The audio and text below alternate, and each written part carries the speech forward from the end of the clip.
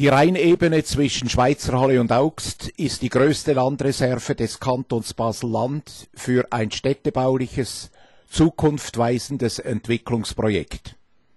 Das Entwicklungsgebiet umfasst gegenwärtig eine Baulandreserve von 60 bis 70 Hektaren und liegt in der Rheinebene zum größten Teil auf Brattlerboden und nur zu einem kleinen Teil auf Augsterboden entlang dem Rhein.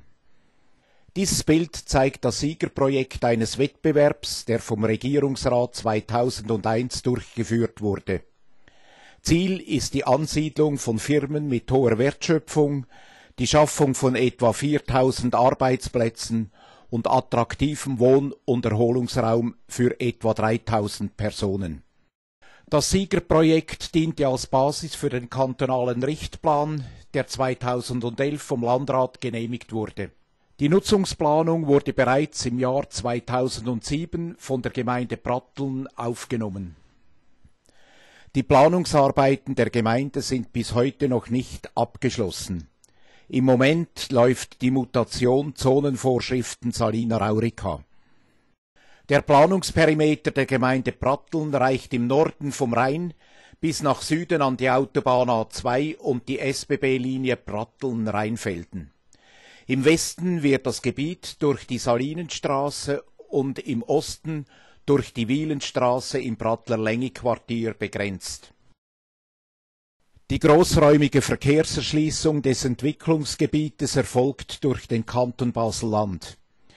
Die SBB-Station Salina Raurica wurde 2008 in Betrieb genommen. Ferner wird die heutige Straße entlang dem Rhein teilweise zurückgebaut und mit einer Straße parallel zur Autobahn A2 ersetzt. Die Tramlinie 14 wird von der heutigen Endstation in Pratteln quer durch das Entwicklungsgebiet nach Längi-Augst verlängert. Der Zonenplan sieht eine Aufteilung des Gebietes in drei Bereiche vor. Im Westen eine Zone für reines Arbeiten, das entspricht einer Gewerbe- und Industriezone, Größe etwa 17 Hektaren, in der Mitte eine Zone für öffentliche Nutzungen, öffentliche Werke und Anlagen, Größe etwa 10 Hektaren und im Osten eine Zone für Wohnen, Arbeiten und Längepark, eine Zone mit Quartierplanpflicht, Größe etwa 36 Hektaren.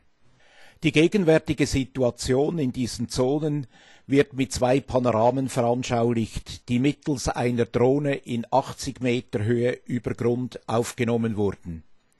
Der erste Aufstieg der Drohne erfolgte in der Industriezone. Die Kamera ist im Aufstieg gegen Westen gerichtet. Dort baut gegenwärtig Gob sein Verteilzentrum mit dem Nahrungsmittelbetrieb Sunray, der Weinabfüllerei Gaf und Chokla Halba. Mit 80.000 Quadratmeter beansprucht dieses Bauvorhaben fast die Hälfte der Fläche der Industriezone. Es handelt sich um das erste Projekt, das im Rahmen von Salina Raurica realisiert wird. Allerdings entspricht es nicht den ursprünglichen Zielsetzungen, welche für Salina Raurica die Ansiedlung von Firmen mit hoher Wertschöpfung vorsehen.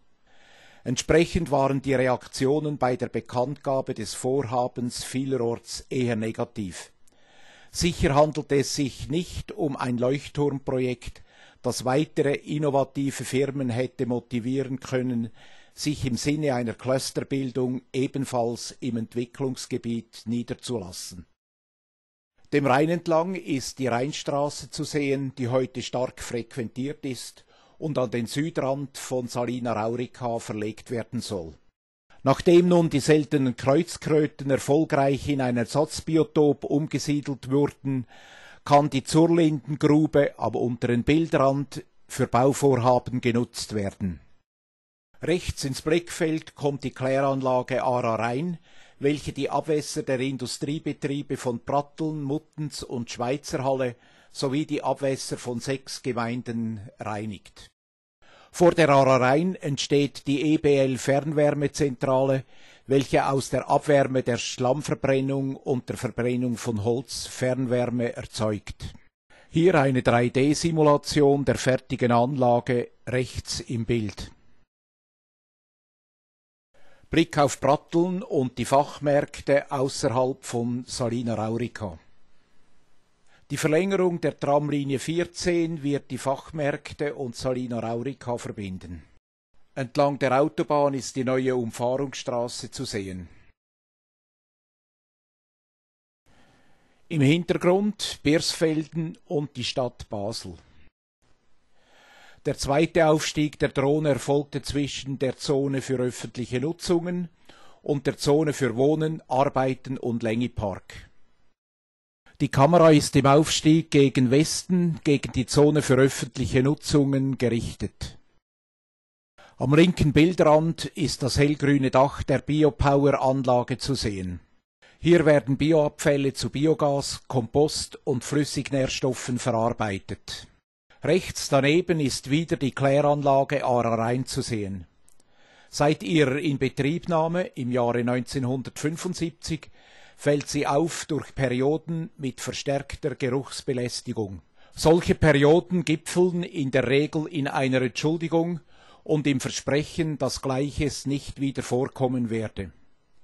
Im Oktober 2014 haben der Verwaltungsrat der Aarerrhein und der Regierungsrat entschieden, dass die Kläranlage an ihrem jetzigen Standort bleiben werde.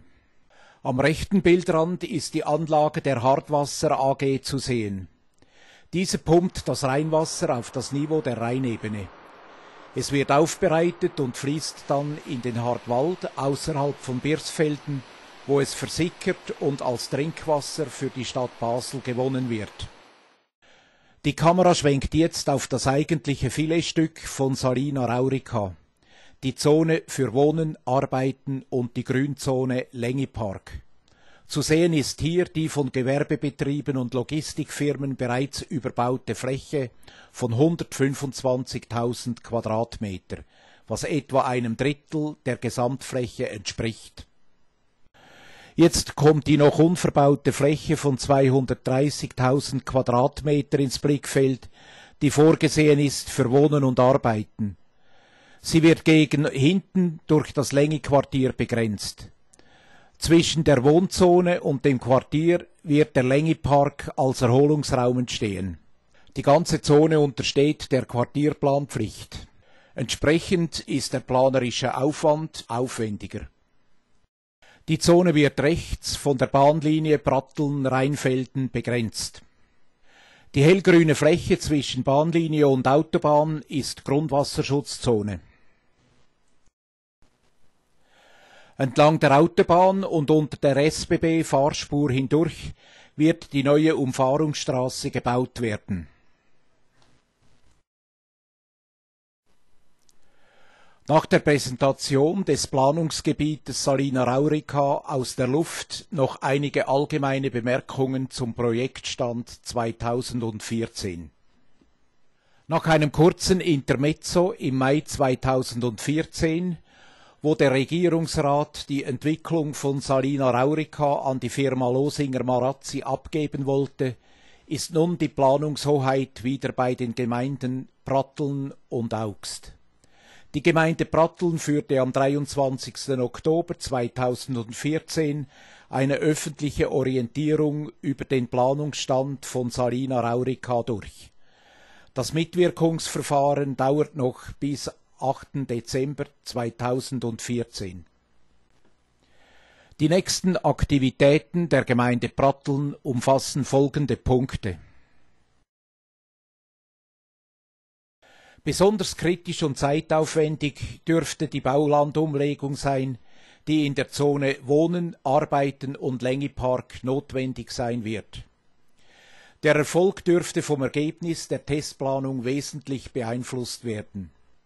Die größten Landeigentümer sind Roche, rote Fläche, Kanton Basel-Land, grüne Fläche und die Gemeinde Pratteln, graue Fläche. Weitere wichtige Fragen bedürfen ebenfalls noch einer definitiven Klärung. So ist es für Außenstehende nicht ganz durchschaubar, wer geeignete Investoren sucht und auswählt. Ist es die Wirtschaftsoffensive Basel-Land? Ist es eine Privatfirma, zum Beispiel Losinger Marazzi? Oder sind es doch die Präsidenten der Gemeinden Pratteln und Augst? Auch ist nicht klar, ob es Konzepte für die Auswahl geeigneter Firmen gibt. Wer tätigt notwendige Vorfinanzierungen? Salina Raurica hat schon längst regionale Konkurrenz erhalten, die äußerst erfolgreich operiert, wie zum Beispiel Technologiepark Basel, Bachgraben Allschwil. Bei Salina Raurica wird noch viel Wasser entlang dem geplanten Rheinpark fließen, bevor das Projekt in seine praktische Realisierung geht. Hoffentlich gibt es auch positive Überraschungen.